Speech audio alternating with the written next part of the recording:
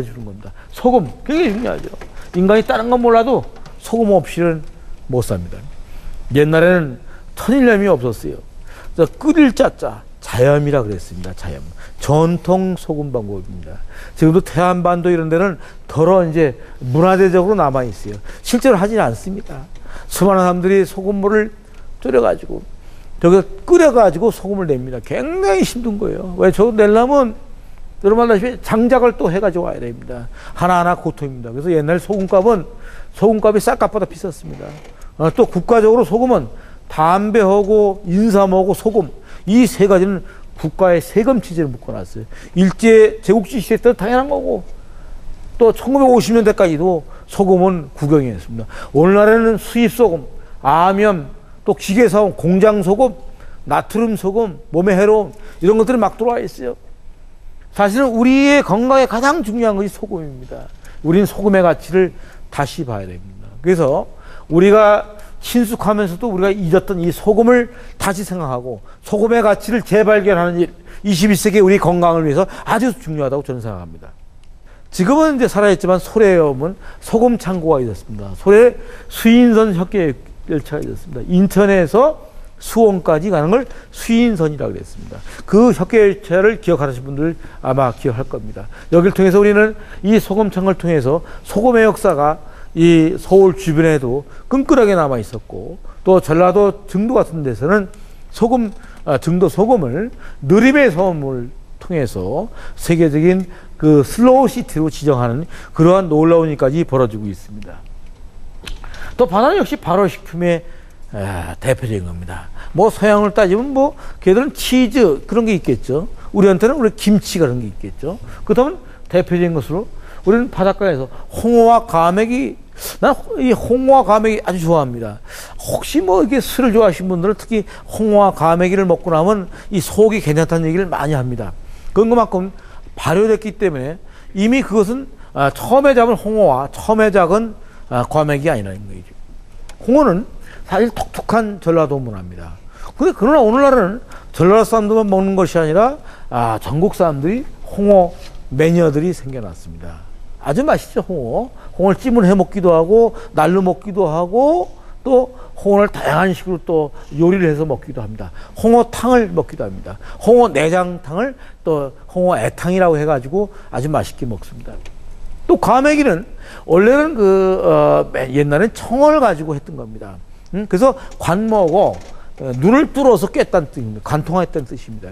그것을 나중에 이제 청어가 대거 사라지니까 오늘날에는 꽁치를 이렇게 조리해서 아, 특히 포항이라거나 이런 저, 저 경상남도, 경상북도, 예, 동해안 쪽에 엄청나게 많이 나옵니다. 특히 포항에 아주 구룡포 과메기 같은 거 유명합니다. 이 과메기를 갖다가 마늘 파 넣고 이렇게 다시마 싸가지고 이렇게 싸 먹으면 아주 겨울에 아, 아주 화끈한 그런 어? 남자들이 좋아하는 아주 경상도 사나이들이 좋아하는 화끈한 뭐 술안주 되고 또 아주 그 어, 여성들한테는 다이어트 음식이 되겠습니다. 아, 둘 다 우리 어, 뭐 이거 말고도 바로 식품 굉장히 많지만 우리들한테 굉장히 중요한 거죠.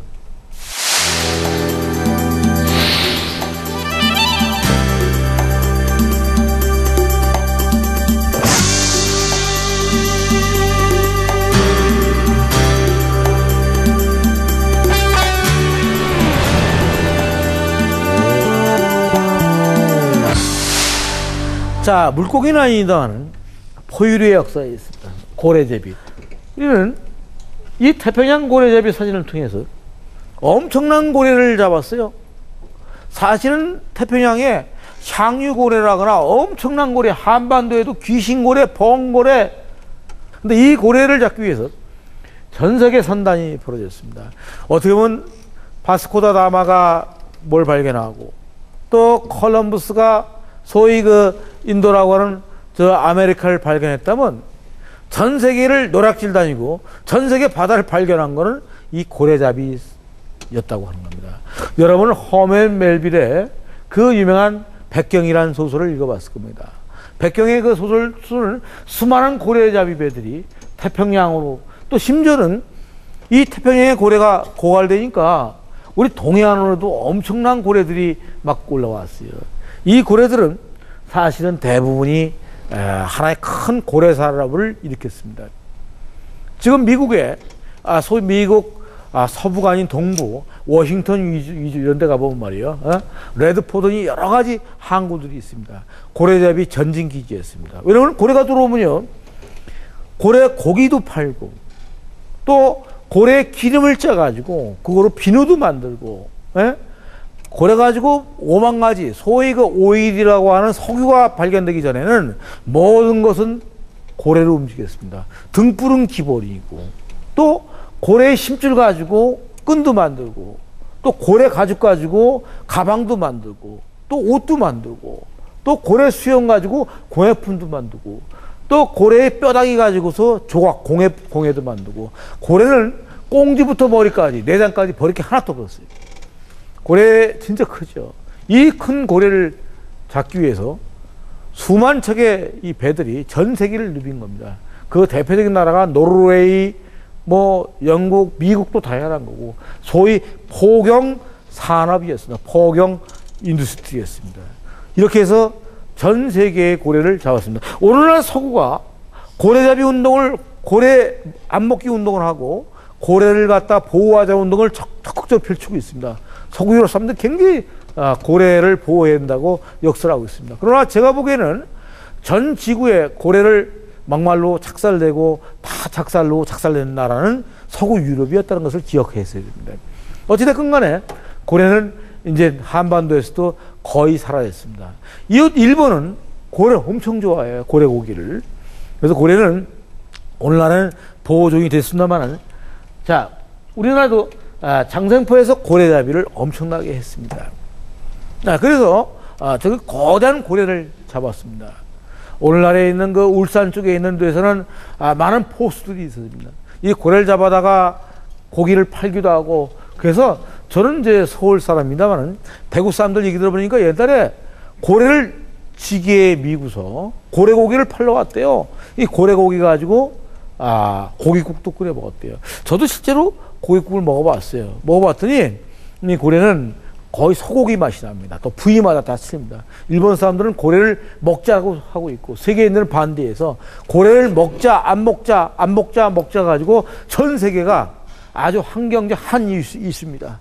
또 유럽이나 이런 데서는 고래 워칭 프로그램 소위 고래를 구경하고 고래가 물 뿜는 것을 보러 가기 위한 그런 환경 에코적인 머린 에코 튜어라 그러죠. 환경 친화적인 그런 관광을 아주 대거적으로 이렇게 널리 퍼지고 있습니다.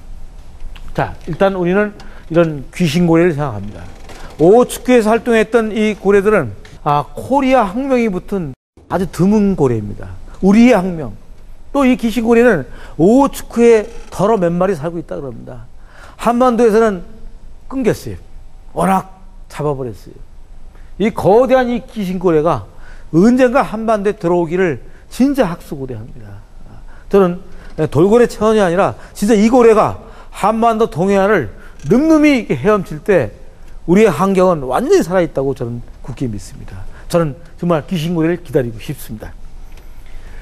에, 우리는 역시 사라지는 물고기를 상하지 않을 수가 없습니다. 이 사진은 아주 옛날에 찍은 일제시대 때 찍은 명태 덕장입니다.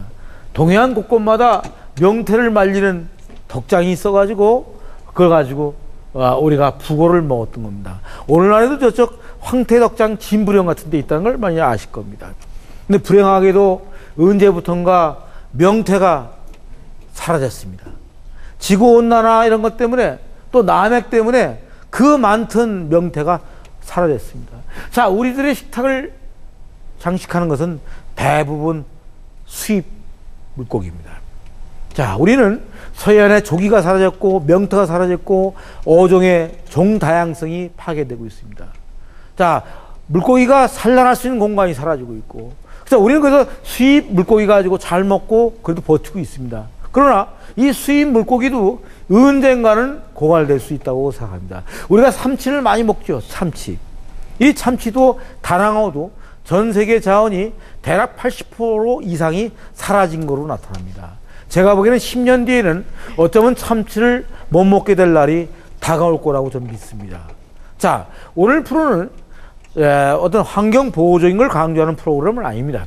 그러나 우리의 생활